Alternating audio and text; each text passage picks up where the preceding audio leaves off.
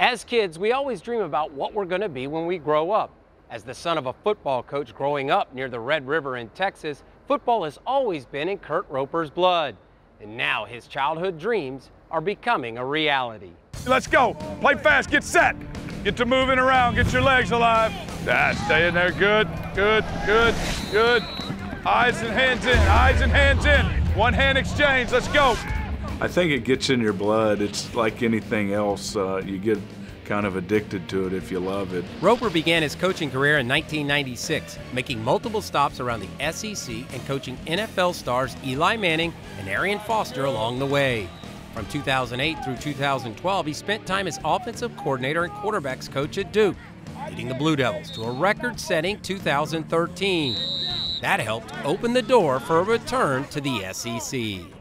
This league is obviously a great league. It's it's a league that uh, you know you get to go against the the best talent. I mean, there's really really good football players in this league. But I think the thing that separates this league is the environments on game day. When you go into a stadium on this in this league, if you're on the road, it's hard to win. It's really hard to win just because of the passion of the fans, and and so I think that really makes this a great league. Roper will lean on his experiences in the nation's toughest conference to win games for the Gators. He'll also rely on lessons learned from his mentor, David Cutcliffe. Coach Cutcliffe, as, a, as far as being a quarterback coach, is the biggest mentor that I've that I've had in this profession. He's really trained me how to teach quarterbacks. He's trained me how you have to build an offense to be successful against defenses that are obviously really, really talented. And, and so I've been fortunate to, to learn from him. His approach and game plan for the Gators. The biggest philosophy change that, that I've had over years is that, that you really have to be more aggressive in trying to score points.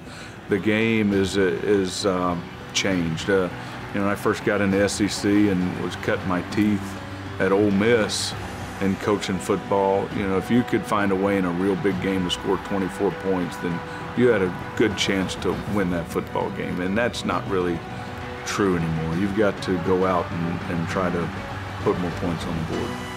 Step and half, let the tailback clear, align, ball. There you go, that's a good ball. His mindset is put the defense in bad spots, but at the same time, it's put the offense in positions to win.